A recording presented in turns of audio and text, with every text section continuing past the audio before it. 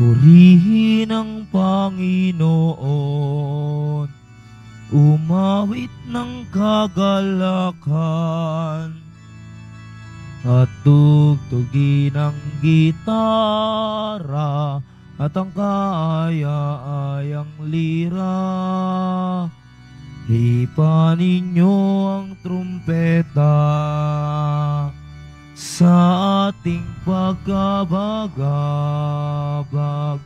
Sa Diyos tayo'y tumawag sa ating mga kaaway. Tayo ay kanyang iniligtas. Purihin ang Panginoon. Umawit ng kagalakan at tugtugin ang gitara at ang kaaya-ayang lira. Di pa ninyo ang trumpeta. Sa ngala ng Ama at ng Anak at ng Espiritu Santo, Amen. ang pagpapala ng ating Panginoong Hesus Kristo, ang pag-ibig ng Diyos Ama, at ang pakikipagkaisa ng Espiritu Santo naway sumainyong lahat. At sumayo rin. Mga kapatid, upang maging karapat dapat po tayong tumanggap ng mga bagong biyaya at himala ng Diyos sa misang ito. Tumahimik po muna tayong sandali. At ang may kababaang loob kasama ni Maria, humingi po tayo ng awa at patawad sa Diyos sa lahat ng inisip at ginawa nating kasalanan. Sinugong tagapagpagaling sa mga nagsisisi, Panginoon, kaawaan mo kami. Panginoon, kaawaan mo kami. Dumating na tagapag-anyayang mga makasalanay magsisi. Kristo, kaawaan mo kami. Kristo, kaawaan mo kami. Nakaluklok ka sa kanan ng Diyos Ama para ipamagitan kami. Panginoon, kaawaan mo kami. Panginoon, kaawaan mo kami. Kaawaan tayo ng makapangyarihang Diyos, patawarin tayo sa ating mga kasalanan at patnubayan tayo sa buhay na walang hanggan. Amen. Manalangin po tayo. Ama naming makapangyarihan, itaguyod mo po ang aming ginagampanan, alinsunod sa iyong kalooban, upang sa ngalan ng anak mong mahal, kami maging marapat magkaroon ng karagdagan sa aming paggawa ng mga kabutihan sa pamamagitan ni Yesu Kristo, kasama ng Espiritu Santo, magpasawalang hanggan. Amen. Magsiupo po ang lahat. Pagbasa mula sa ikalawang aklat ni Samuel. Noong mga araw na iyon, kinuha ni David ang kaban ng Diyos at dinala sa Jerusalem. Hindi pa man nakalalayo, nakakaanim na hakbang pa lamang ang mga may dala ng kaban pinahinto na sila ni David at naghandog sila ng isang toro at isang pinatabang tupa. Isinuot ni David ang isang linong ifod at nagsayaw sa harapan ng Panginoon. Habang lumalakad ang mga Israelita, nagsisigawan sila sa tuwa at hinihipan ang mga trompeta. Ipinasok nila ang tulda sa tuld ang kaban ng Panginoon at inilagay sa lugar na nakaalaan dito. Si David namay muling nagsunog ng mga handog sa harapan ng Panginoon. Pagkatapos, binasbasan niya ang mga tao sa ngalan ng Panginoon. Bago nagsiuwi, lahat ng mga Israelita ay pinakain ng tinapay, karne at pasas. Ang salita ng Diyos. Salamat sa Diyos. Sino ang haring dakila? Siya'y ang Diyos na lumikha. Sino ang haring dakila? Siya'y ang Diyos na nilik- lumikha. Ang pinto ang luma ay buka buksan ng lubos. Ang dakilang hari ay doon papasok. Sino ang haring dakila? Siya ay Diyos na lumikha. Ang dakilang haring ito ay sino ba? Siya ang poon, dakilang talaga. Saan mang labanan, tagumpay ay kanya. Sino ang haring dakila? Siya ang Diyos na lumikha. Ang pintuang luma ay buksan ng lubos. Ang dakilang hari ay doon papasok. Sino ang haring dakila? Siya ang Diyos na lumikha. Ang dakilang hari sino bang talaga? Makapangyarihang Diyos at hari siya. Diyos, sino ang haring dakila? Siya ang Diyos na lumikha. Magsitayo po ang lahat.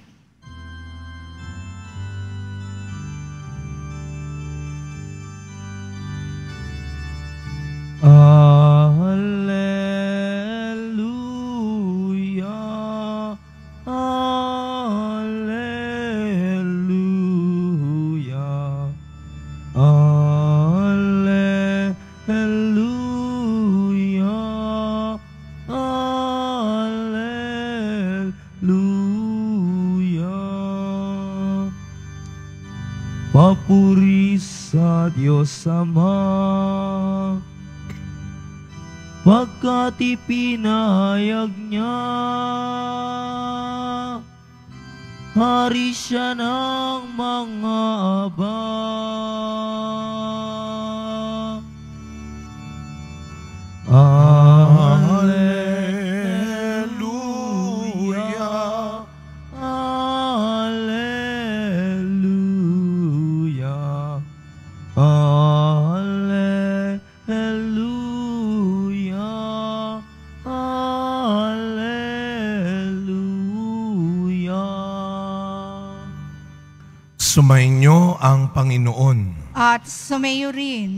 mabuting balita ng Panginoon ayon kay San Marcos. Papuri sa iyo, Panginoon. Noong panahong iyon, dumating ang ina at mga kapatid ni Jesus. Sila'y nasa labas ng bahay at ipinatawag siya.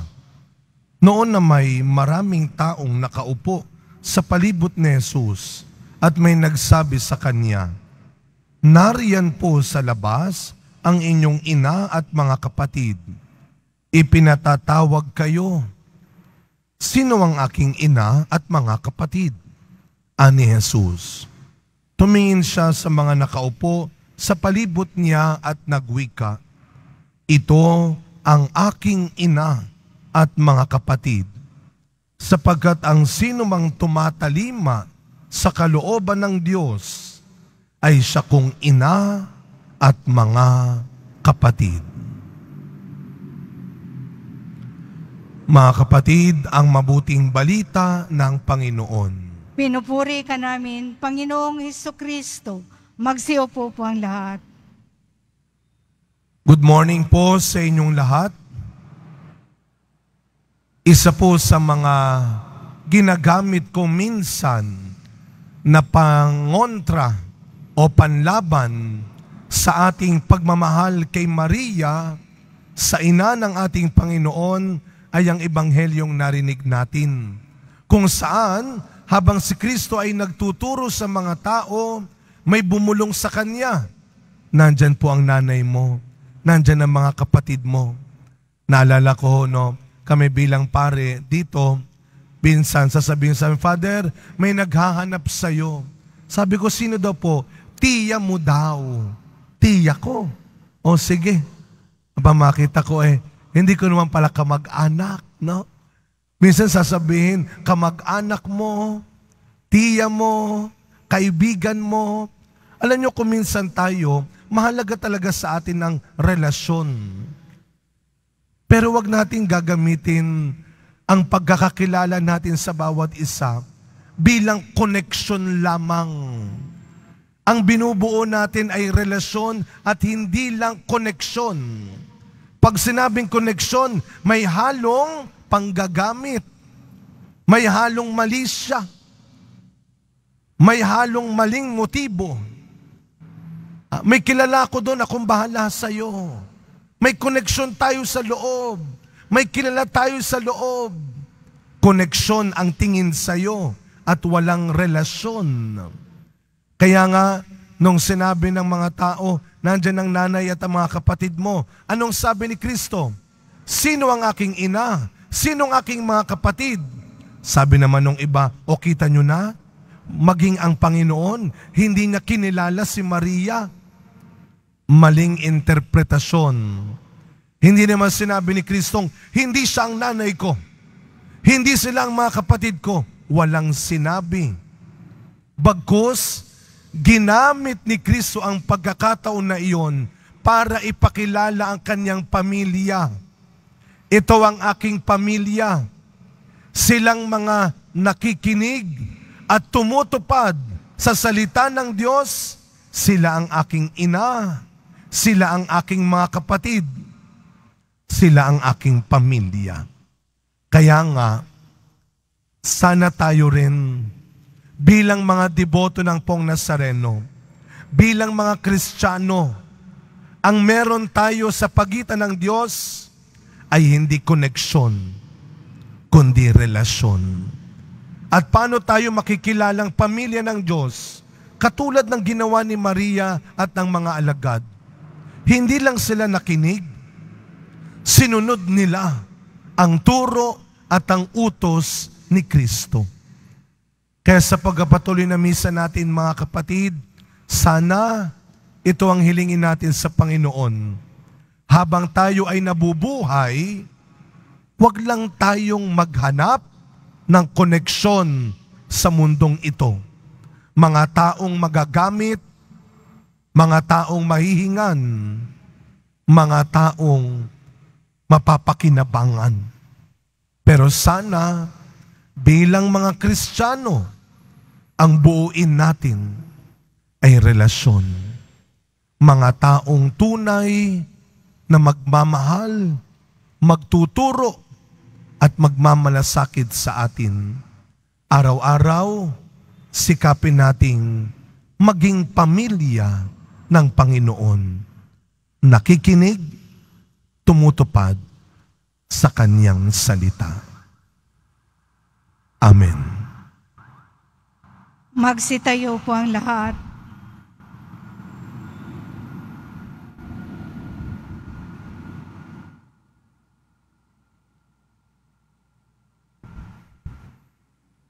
Minamahal kong mga kapatid, ang mensahe ng kaligtasan ni Jesus at ng kanyang buhay ang ating pamantayan ng paghahanap sa kalooban ng Diyos.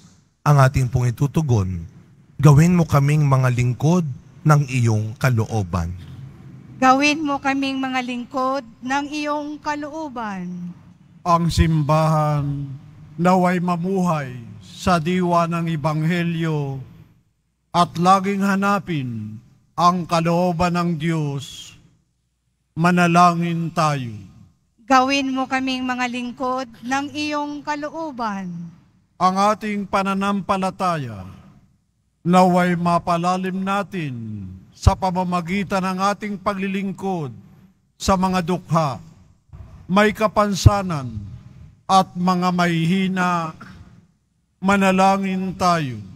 Gawin mo kaming mga lingkod ng iyong kalooban. Tayong lahat naway maging mga tunay na miyembro ng pamilya ng Diyos sa pagiging tapat sa kalooban ng amang nasa langit. Manalangin tayo. Gawin mo kaming mga lingkod ng iyong kalooban. ang salita ng Diyos naway gawin nating buhay sa pamamagitan ng pagsasabuhay nito sa lahat ng pagkakataon. Manalangin tayo. Gawin mo kaming mga lingkod ng iyong kalooban. Tahimik nating ipagdasal ang iba pa nating personal na kahilingan. Isama natin sa ating mga panalangin ang mga kapatid nating may sakit at ang mga nag-aalaga sa mga may sakit. Ang mga katutubo at bilanggo, ang mga walang sapat na makain at tirahan, at ang mga kababayan natin nagtatrabaho sa malalayong lugar sa ibang bansa para sa kanilang pamilya. Panginoon, gawin mo kaming karapat dapat na maging bahagi ng iyong pamilya sa pamamagitan ng aming buhay na pananampalataya. Hinihiling namin ito sa pangalan ni Kristong aming Panginoon. Amen. Magsiupo po ang lahat.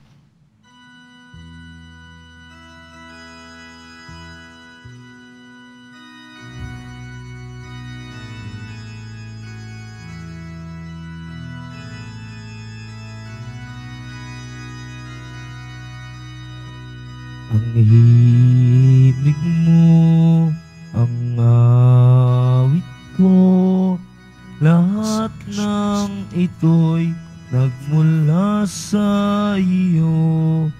Muling iyak, handog sa'yo, buong puso kong inaalay sa'yo.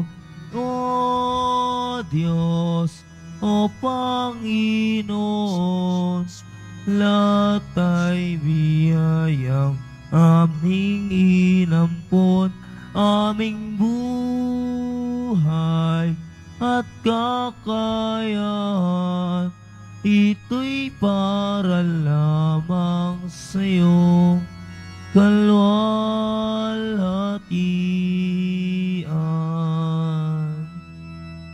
Magsitayo po ang lahat. Manalangin kayo mga kapatid upang ang paghahain natin ay kalugdan ng Diyos amang makapangyarihan.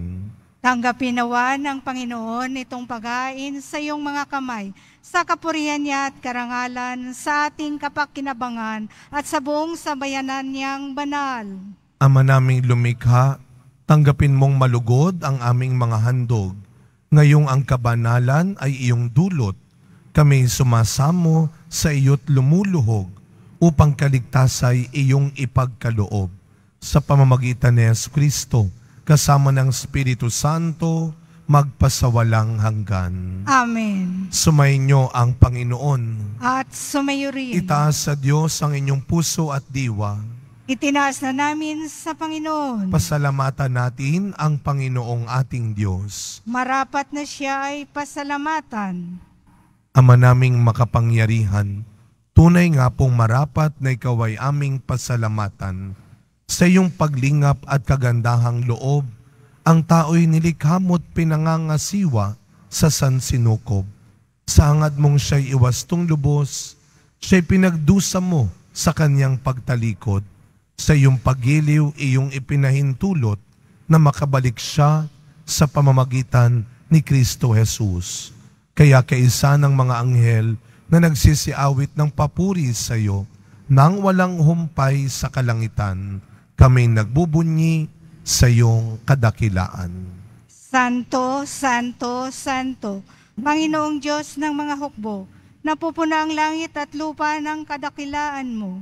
Usana sa kaitaasan, pinagpala ang naparirito sa ngalan ng Panginoon. Usana sa kaitaasan, magsiluhod po ang lahat. Ama naming banal, ikaw ang bukal ng tanang kabanalan, kaya't sa pamamagitan ng iyong Espiritu, gawin mo pong banal ang mga kaloob na ito upang para sa amin maging katawan at dugo ng aming Panginoong Yesu Kristo. Bago niya, pinagtiisang kusang loob na maging handog, hinawakan niyang tinapay, pinasalamatan kanya, pinaghati-hati niya iyon, iniabot sa kanyang mga alagad at sinabi, Tanggapin ninyong lahat ito at kanin. Ito ang aking katawan na ihahandog para sa inyo.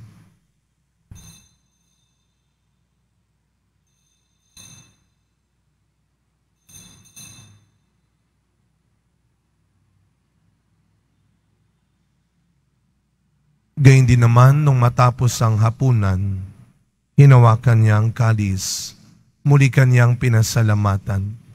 Iniabot niya ang kalis sa kanyang mga alagad at sinabi, Tanggapin ninyong lahat ito at inumin. Ito ang kalis ng aking dugo, ng bago at walang hanggang tipan. Ang aking dugo na ibubuhos para sa inyo at para sa lahat sa ikapagpapatawad ng mga kasalanan. Gawin ninyo ito sa pag-alala sa akin.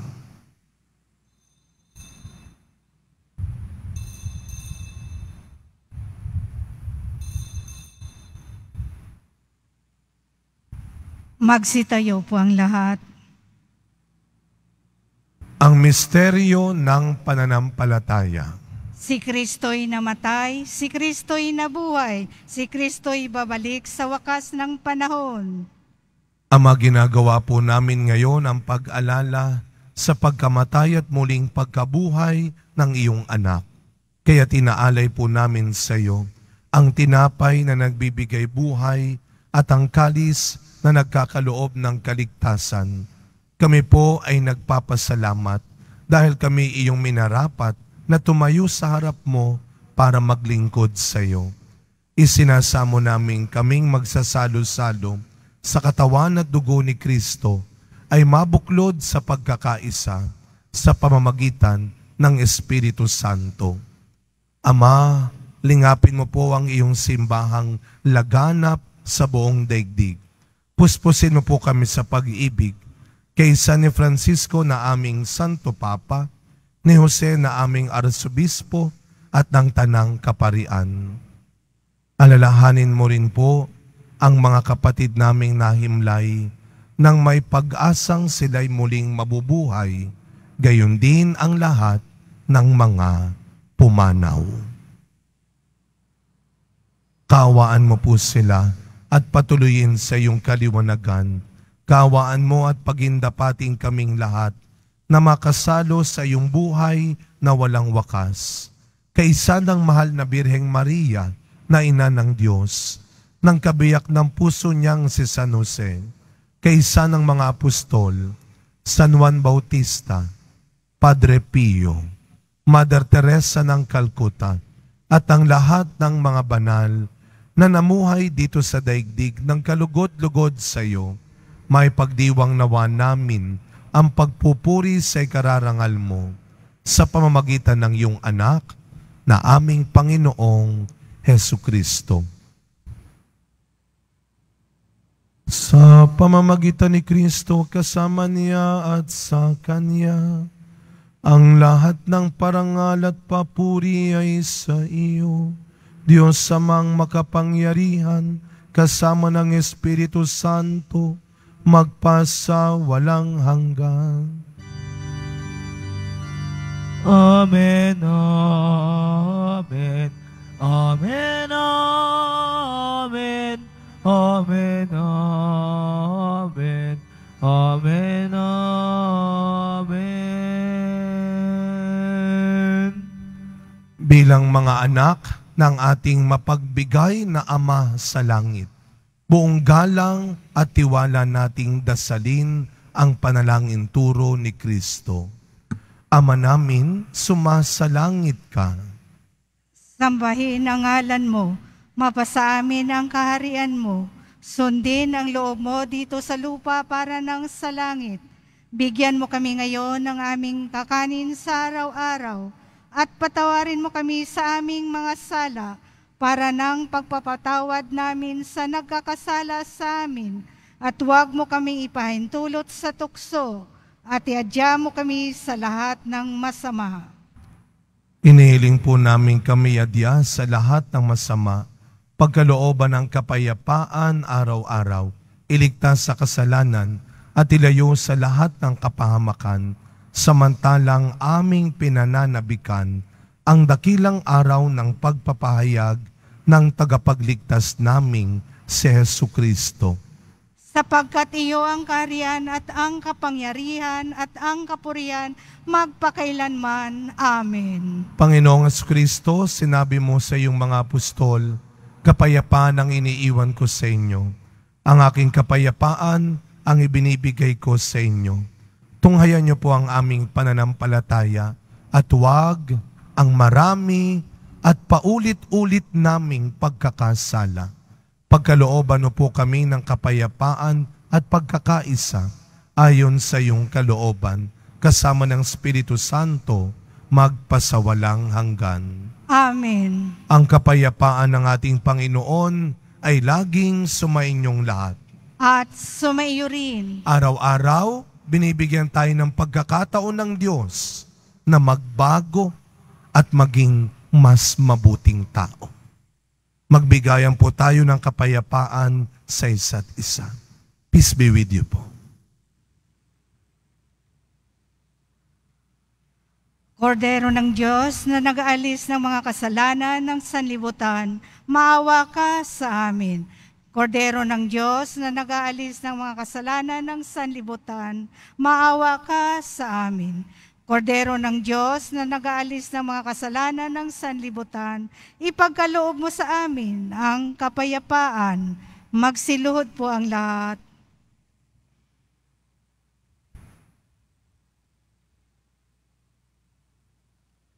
Masdan ninyo ang ating Panginoong Hesus Nazareno. Siya ang tunay mong kailangan. Siya ang tunay mong kaligtasan. Ang kordero ng Diyos na nag-aalis ng mga kasalanan ng sanlibutan, mapapalad po tayong lahat na inaanyayahan sa kanyang piging. Panginoon, hindi ako karapat dapat na magpatuloy sa iyo. Ngunit sa isang salita mo lamang ay gagaling na ako.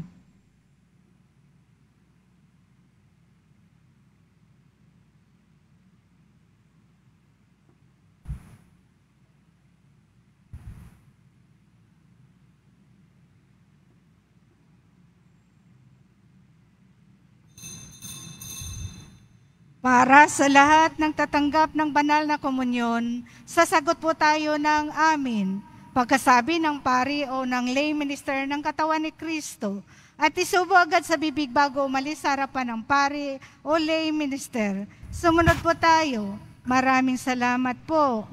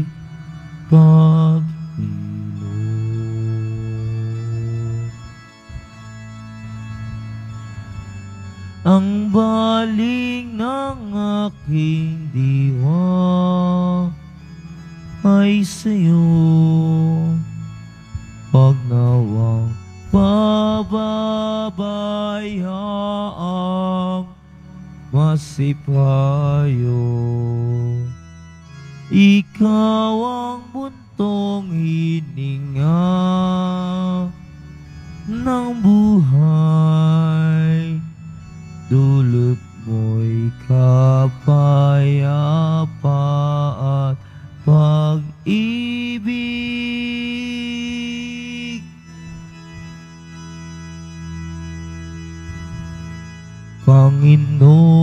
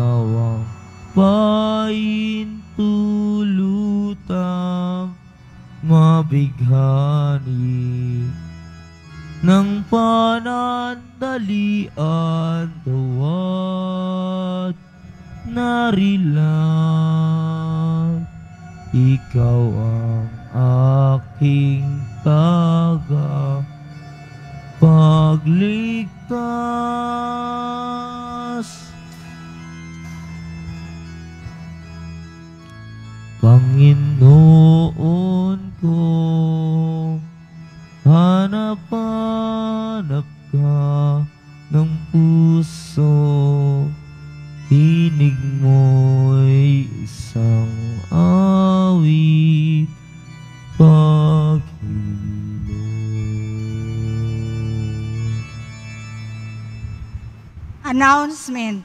Sa lahat po ng may mga lumang palaspas na ginamit noong linggo ng palaspas, mari nyo na pong dalhin sa simbahan ang mga ito.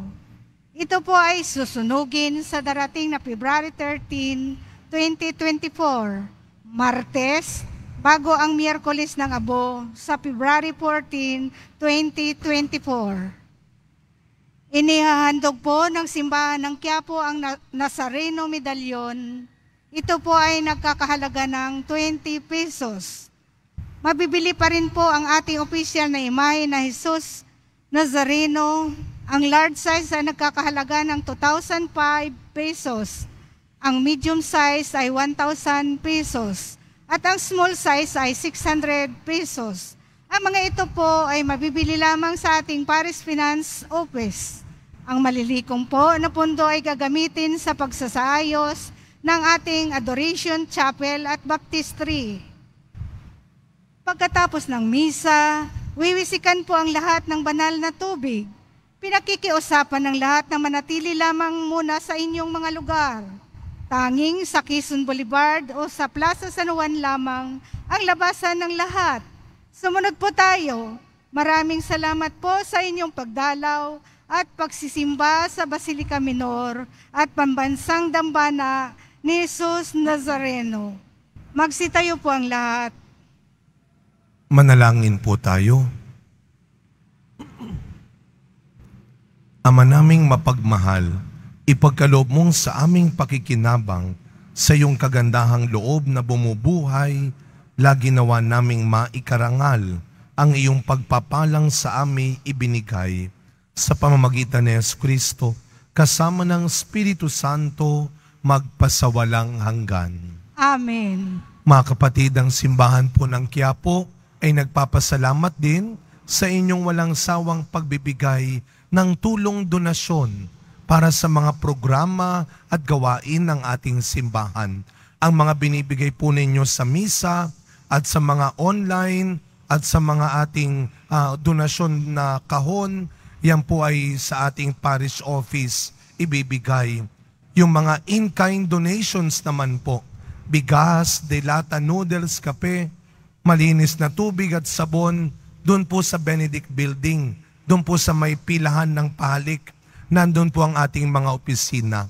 Maraming salamat dahil kahit wala namang kalamidad, tuloy-tuloy ang ating pagbibigayan. Salamat sa kabila ng inyong mga sariling pangangailangan, nagagawa nyo pa rin magbigay ng kabutihan. Ang Diyos na ang magbalik ng sapat at dapat na gantimpala sa inyong kabutihan. Sumayin nyo ang Panginoon. At sumayo rin. Yumuko po kayo habang ginagawad ang pagbabasbas. Mahal na pong Jesus Nazareno, inihayag mo sa pamamagitan ng krus ang walang maliw na pag-ibig ng Diyos sa sangkatauhan. Pakinggan mo po ang kahilingan ng iyong angkan na nagsusumamo sa iyo. Makamtam nawa nila ang iyong katugunan at tanggapin ang kasagutan na may utang na loob na tinatanaw. Basbasan din po ninyo ang mga daladala nilang imahen at dasalan. Sa pamamagitan ng bendisyon na ito, naway maalaala nila ang mga pangako nila noon sa binyag na ikaw ay kanilang iibigin at paglilingkuran bilang Panginoon magpasawalang hanggan. Amen. Naway pagpalain at ingatan ang inyong pamilya ng ating mapagmahal na Diyos Ama, Anak, at Espiritu Santo. Amen. Tapos na po ang ating pagdiriwang, humayo kayong taglay ang pag-asa ng poong Jesus Nazareno. Salamat sa Diyos.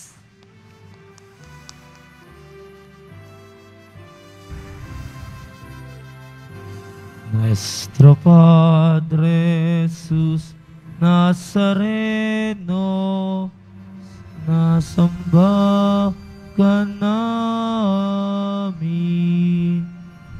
Pinipinto ka namin.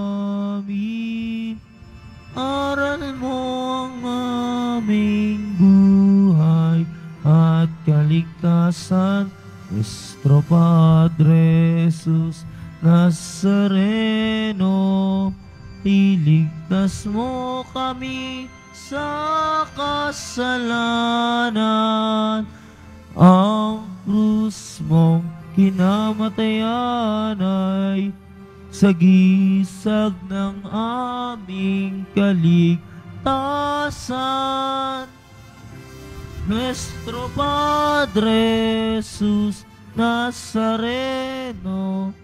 dinarangan ka namin. Nuestro Padre Jesus Nazareno, nilulwalhati ka namin. Nuestro Padre Jesus Nazareno, dinarangal ka namin.